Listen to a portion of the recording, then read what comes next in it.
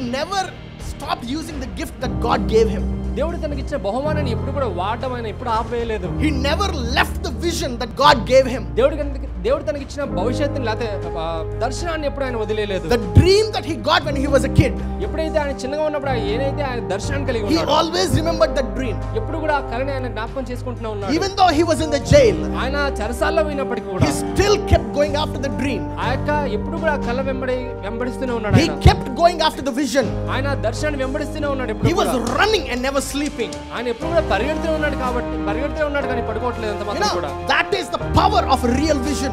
నిజమైన దర్శనానికి ఉన్నటువంటి శక్తి ఎలాంటిదండి That is the power of a real dream.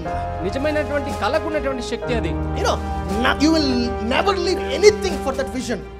అలాంటి దర్శనానికి నువ్వు ఏది కూడా వదిలేలేవు You will grab every opportunity, నువ్వు ప్రతి ఒక్క అవకాశాన్ని కూడా నువ్వు చేతి పట్టుకుంటావు though you're in a crisis, నువ్వు కరువు సమయంలో ఉన్నప్పటికీ కూడా even though you're outcast, నువ్వు ఎప్పుడు కూడా నువ్వు దూరంగా వేయబడినప్పటికీ కూడా even though you're in slavery, నువ్వు బానిసత్వంలో ఉన్నప్పటికీ కూడా though you're in a prison. నువ్వు ఒక చెరసాలో ఉన్నప్పటికీ కూడా Your vision నీ యొక్క దర్శనం will fire you up. నీకు అగ్ని మండిస్తుంది నీలో